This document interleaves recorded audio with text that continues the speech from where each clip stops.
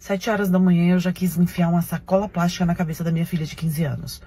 Eu não sei o que acontece com os adolescentes de hoje, mas assim, eu tenho três filhos, uma de 22, um de 19 e ela com 15. Em algum momento, no meio do caminho, eu esqueci como que queria.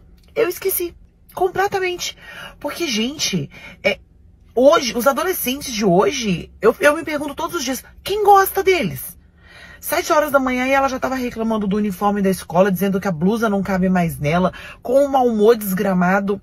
Ela desceu, chegou na cozinha, eu perguntei, você vai tomar café? Ela respondeu, não. Quando ela entrou no carro, que a gente saiu da porta de casa, ela falou assim, podemos tomar café? Não, você não pode tomar café.